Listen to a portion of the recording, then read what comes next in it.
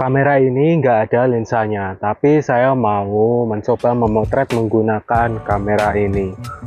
Sebagai gantinya lensa di sini saya menggunakan uh, pinhole ya guys atau lubang jarum. Kamu bisa lihat saya bikin ini dari kaleng yang saya amplas kemudian saya cat dan saya lubangi seperti ini Sebelumnya saya pernah melakukan pinhole fotografi tapi menggunakan kamera yang saya buat sendiri dan mediumnya adalah film 35 mm ya guys. Itu lebih mahal dan kamu bisa tonton videonya di atas ini. Sekarang saya pakai kamera digital ya, kamera DSLR karena ini lebih murah seharusnya ya daripada kamera film karena kita bisa gunakan ini berkali-kali tanpa habis ya guys. Jadi langsung saja kita coba memotret di sini. Ternyata gambarnya memang tidak terlalu jelas ya guys. Sangat buram sekali. Itu karena uh, sensor kamera ini punya ukuran yang kecil ya guys. Ini adalah kamera dengan sensor APS-C mungkin kalau kamu menggunakan kamera dengan sensor full frame hasilnya bakal lebih tajam. Tapi tidak apa-apa saya akan mencoba buat memperbaiki uh, keburaman di foto saya dengan memotret banyak foto dengan angle yang berbeda kemudian nanti saya akan menggabungkan foto-foto itu sebagai satu foto panorama ya guys saya akan mencobanya apakah hasilnya apakah lebih bagus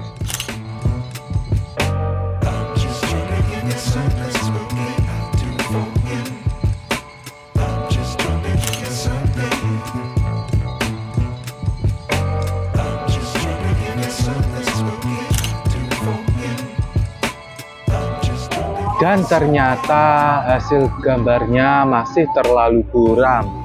Tapi tidak apa-apa karena saya akan berusaha bikin gambarnya makin tajam lagi. Caranya adalah dengan menggunakan lubang yang lebih kecil lagi. Jadi saya sudah bikin lubang yang lebih kecil pada lensa eh pada kamera ini. Di samping lubang yang lama dan lubang yang lama sudah saya tutupi menggunakan selotip. Dan di sini saya pakai daun pisang buat uh, tudung lensanya ya guys biar uh, tidak ada cahaya yang bocor. Seharusnya hasilnya bakal lebih tajam daripada yang tadi ya guys. Dan sekarang saya berada di pasar Pon Trenggalek uh, saya memilih tempat ini karena dulu saya pernah memotret uh, foto pasar Pon Trenggalek menggunakan kamera lubang jarum juga yang saya buat sendiri menggunakan kertas karton dan medianya adalah film 35 mm dan saya akan mencoba menggunakan yang versi digital. Apakah lebih bagus? Saya akan coba. Ngomong-ngomong dulu saya memotretnya di belakangnya jadi ini di depannya. Jadi kita akan bandingkan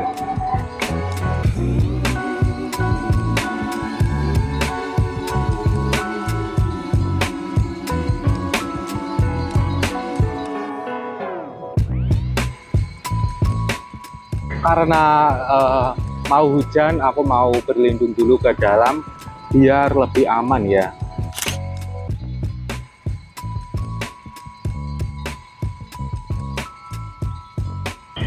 Sayang sekali cuacanya kurang mendukung ya guys.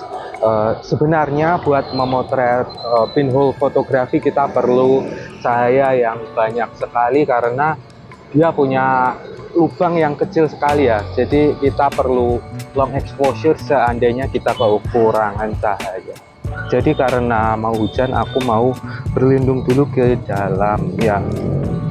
Mungkin kita bisa memotret di sana menggunakan kamera ini tapi karena cahayanya kurang mungkin akan butuh waktu yang lama ya guys. Long exposure. Uh, mungkin aku perlu buru-buru karena hampir hujan ya Ngomong-ngomong ini sepeda ibu saya ya Karena sepedaku rusak Jadi pinjam Ternyata di sini cukup redup ya anu, pencahayaannya. Jadi buat memotret satu foto aku perlu waktu sekitar 8 detik ya menggunakan kamera lubang jarum ini. Tapi tidak apa-apa kita coba saja ya ngomong-ngomong saya pakai pakai ISO 400 ya guys seharusnya ini tidak terlalu noise. Seharusnya loh ya. Karena kalau aku pakai ISO terlalu tinggi nanti terlalu noise dan kalau terlalu rendah uh, waktunya terlalu lama buat panorama ya guys. Tapi tidak apa-apa. Seharusnya 400 itu cukup buat bikin dia cahayanya bagus. 8 detik kita menunggu kemudian kita akan lanjut ke foto selanjutnya. Sekarang foto kedua kita geser serot. Kita tunggu lagi 8 detik sudah serot sudah jadi. Kita geser lagi. 8 detik lagi? 8 8 kita tunggu oh sudah. 8 detik lagi. Kita lihat nanti apakah fotonya bakal lebih tajam. 8 detik ya. 8 detik guys. Lama sekali. Mungkin sek sekali sekali lagi ya. Sekali lagi fotonya. Kemudian aku mau arahkan ke arah bawah ya guys kita lihat. Kemudian bawahnya. Oh belum. Sudah. Ah kalian tunggu saja ya. Eh kalian skip saja ya.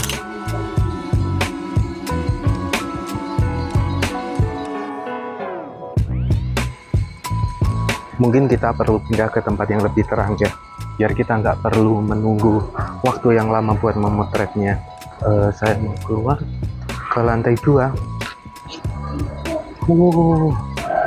sekarang aku sudah berada di lantai dua pasar pon ya. Dan saya sudah memasang kameranya di sini. Saya akan memotret itu.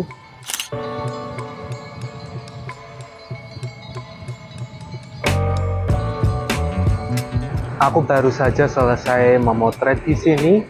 Sekarang aku mau pindah ke lokasi yang lain. Uh, mungkin alun-alun ya guys. Alun-alun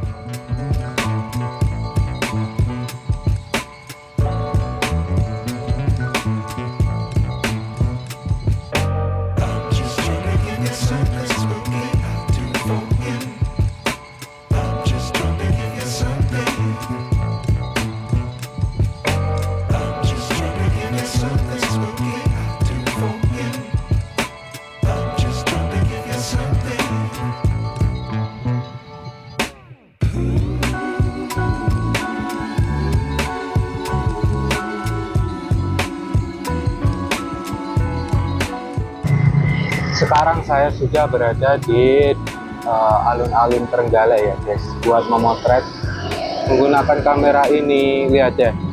Kamu lihat lubangnya nggak? Wow kecil sekali kan? Bagus sekali. Saya sengaja menggunakan angle yang rendah karena saya males buat memperpanjang uh, tripodnya ya. Tapi tidak apa-apa.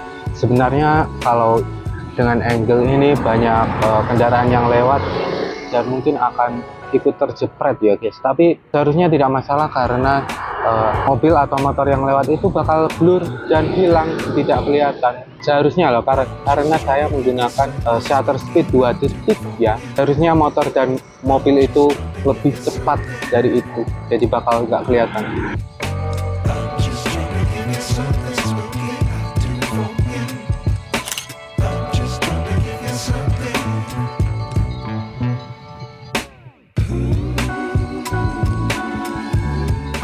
sekarang aku mau ke lokasi selanjutnya. Mungkin lokasinya uh,